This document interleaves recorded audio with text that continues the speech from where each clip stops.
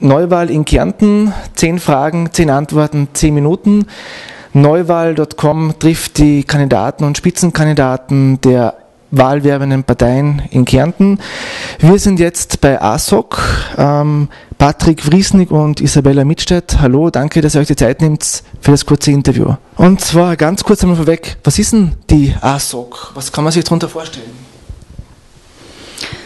Die Allianz Soziales Kärnten, Allianza Sozialna Koroschka, ähm, ist eben keine Partei, sondern eine Wahlinitiative von äh, nicht bezahlten Politikerinnen und Politikern, die es sich zur Aufgabe gemacht haben, äh, in diesem Land etwas zu verändern und äh, endlich eine wirkliche Opposition zu stellen im Landtag. Was macht denn die ASOK so besonders? Ähm, die ASOK hat sich zum Ziel gesetzt, äh, in Kärnten äh, grundsätzlich, grundsätzliche äh, Dinge zu verändern, die die Bevölkerung betrifft. Das heißt, äh, privates Eigentum, also äh, Volkseigentum soll nicht mehr privatisiert werden. Äh, es soll transparenter dargestellt werden, äh, was in den letzten zehn Jahren passiert ist. Ähm, äh, Institutionen sollen nicht ausgelagert werden. Und wenn wir werden da, uns dafür einsetzen, dass sie wieder in das Landeseigentum zurückkommen.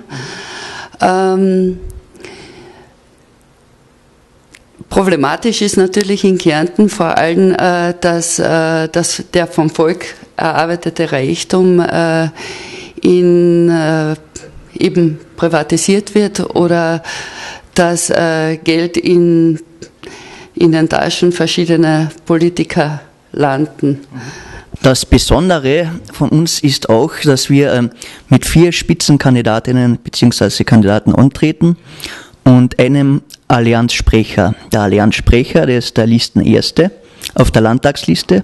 Das ist der Gerald Murer und das ist der Sprecher nicht, von der Allianz Soziales Kärnten. Und dann haben wir in den vier Wahlkreisen jeweils einen Spitzenkandidat oder eine Spitzenkandidatin. Wie zum Beispiel die Kolitnik äh, Moiza ist äh, im Bereich Ost, also Wahlkreis Ost, der Jamrich Daniel ist im in Westkärnten. Und dann haben wir noch die Frau Mittelstädt, die ist im, äh, in, das ist ja die äh, zweite Sprecherin von äh, der ASOC. Und äh, meine Wenigkeit ist Wahlkreis Klagenfurt. Und dann haben wir noch den Curry Koreimann in Villach. Was macht denn euch Besonderes aus? Was macht denn euch so besonders wählbar? Äh, vor allem, weil wir eine Allianz von verschiedenen, äh, also von Menschen sind mit verschiedenen Interessen, die sich äh, eben für die Belange der Bevölkerung einsetzen, die vor allem im sozialen Bereich und im Gesundheitswesen auch diese Missstände anprangern und äh, dagegen arbeiten werden. Mhm. Welche Fehler sollte man da jetzt nicht mehr begehen, die jetzt in den letzten vier Jahren passiert sind? Äh, da fange ich mal an, dass man gewisse Projekte wie ähm, Stadionbau oder äh, diese äh, Seebühne, dass wir solche Projekte eben nicht mehr finanzieren, dass wir das Geld nicht mehr so hinausschmeißen, sondern dass wir das äh, mit äh, Vorteil bedacht und ans Gemeinwohl denkend äh, investiert in Projekte, die Sinn ergeben. Wie zum Beispiel, dass wir ähm, die, die, Gemeinden wieder stärken, nicht? dass man mehr in den Gemeinden äh, unterstützt. Weniger das Land äh, sprechen lassen, sondern mehr wieder die Gemeinden, weil manches äh, ist äh, auf Gemeindeebene besser zu bewerkstelligen Und manches müsste man halt dem Bund überlassen. Und der Landtag hatte eigentlich nur das ähm, über, dass sie das Geld verteilen. Und das wird eben politisch verteilt und immer nach den Formen, die halt in der Regierung sitzen. Setzen wir uns einmal die Situation von den Jugendlichen in Kärnten. Nehmen wir an, ihr hättet jetzt die Möglichkeit zur Mitgestaltung in der Politik in Kärnten. Woran würden es die Jugendlichen merken, dass sich da was verändert? Also für Jugendliche ist es einmal wichtig, äh, äh, die, die Bildung in Kärnten äh, muss einmal vorangetrieben werden. Das ist, glaube ich, ein Schwerpunkt. Der zweite sind kulturelle Veranstaltungen und Möglichkeiten für Jugendliche, dass sie sich ausdrücken können. Ähm, und ich glaube, in der Richtung kann man schon viel verändern. Da sind auch die Möglichkeiten vorhanden. Korruption, verbale Entgleisungen und so weiter haben wir auch erlebt in den letzten Jahren. Ähm, haben Politiker eine Vorbildfunktion? Und wie kann das moralische und ethische Ungleichgewicht in der Politik wiederhergestellt werden? Zuerst einmal ja. Ein Politiker, eine Politikerin hat natürlich eine Vorbildfunktion und soll natürlich auch das vorleben, was sie, was diese Person als Politiker, Politikerin hervorgibt. Das heißt, ähm, wenn ich sage, äh, der Bevölkerung kommt das Speiben, weil so viel plakatiert wird und dann mein Gesicht von jeder Plakatwand runterschaut, dann ist das nicht glaubwürdig.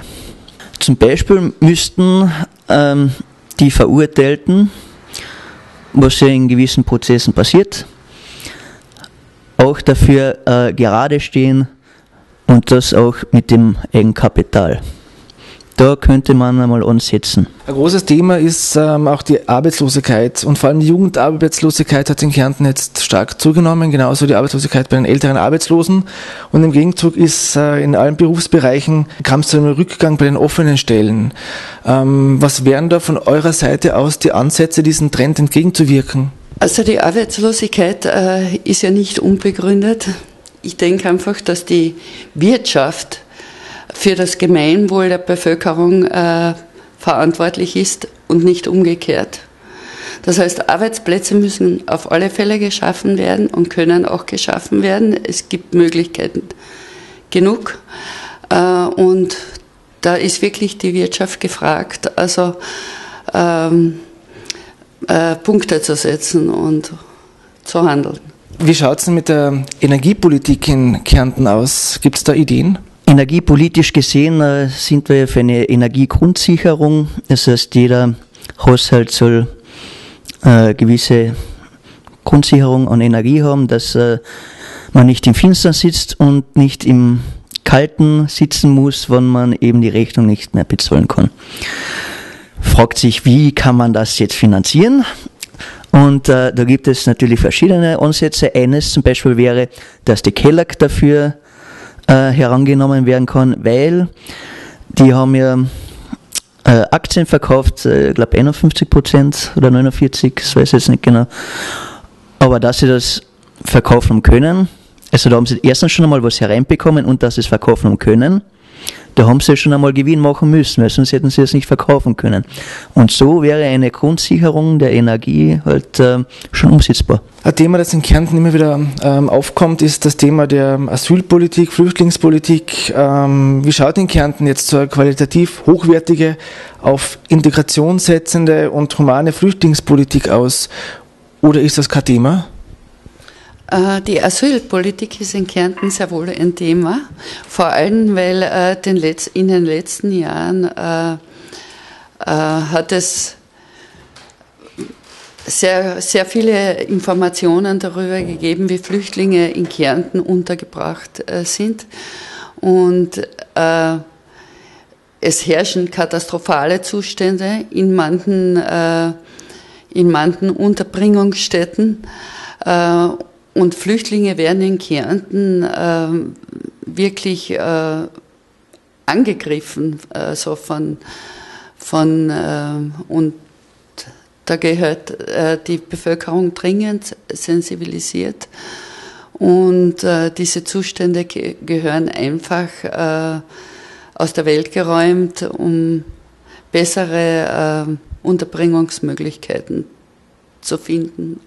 Äh, grundsätzlich äh, vertreten wir die Meinung, dass äh, jeder Mensch, egal ob in Österreich geboren oder woanders geboren, dieselben Rechte wie jeder andere Mensch hat, der seinen äh, Lebensmittelpunkt in Österreich hat.